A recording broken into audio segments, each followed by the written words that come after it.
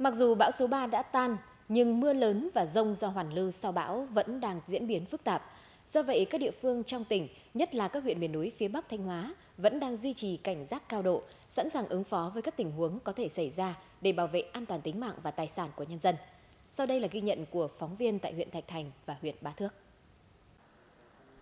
Tại huyện Thạch Thành, từ ngày 6 tháng 9 đến 14 giờ chiều nay, trên địa bàn huyện có mưa vừa, mưa to, làm cho nước sông Bưởi dâng cao.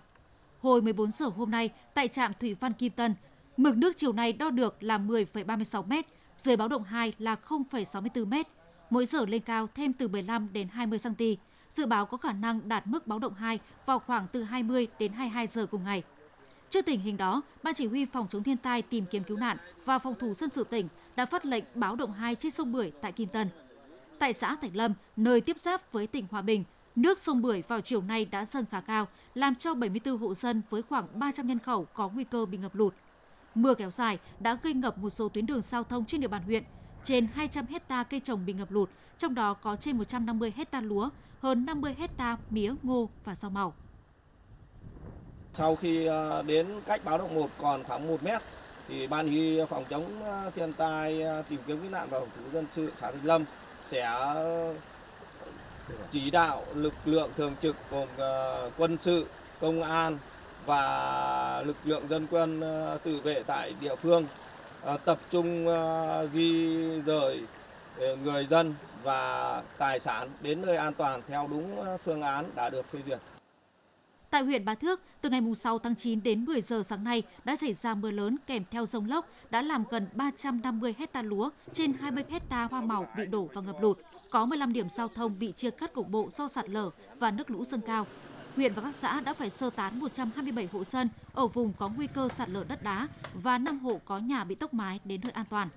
Đặc biệt tại xã Lũng Liêm có 3 ngôi nhà của các hộ dân ở thôn Bồng đã bị sụt lún nghiêm trọng từ tối ngày 7 tháng 9, có nguy cơ rất cao bị sạt toàn bộ xuống suối ngàn. Hiện chính quyền địa phương đã di rời các hộ đến nơi an toàn.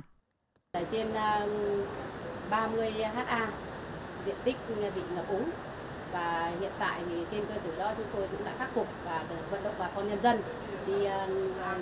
ờ, đắp đê, đắp đập làm sao ngăn cho nước không vào ruộng nữa để cứu được những cái vùng lúa còn sót lại để làm sao đó sau này là người dân à, đỡ mất mùa. Chúng tôi cũng dự báo là thời tiết thì diễn biến phức tạp, mưa thì có thể còn kéo dài. Thì à, huyện ủy ban huyện tiếp tục là huy động à, cả hệ thống chính trị vào cuộc. Thứ nhất là tập trung ứng trực, trực là một trăm phần trăm quân số của ủy ban và các ngành để mà đảm bảo cho cái việc là hỗ trợ tốt nhất cho người dân. Và thứ hai nữa là sau khi mưa thì chúng tôi sẽ tiếp tục là ổn định cho à, các hộ dân mà ờ, bị sạt lở và bị di rời để các hộ dân ổn định với cuộc sống. Thứ ba nữa là tập trung chỉ đạo để khắc phục cái, cái ảnh hưởng của mưa bão đến cái à, nông nghiệp.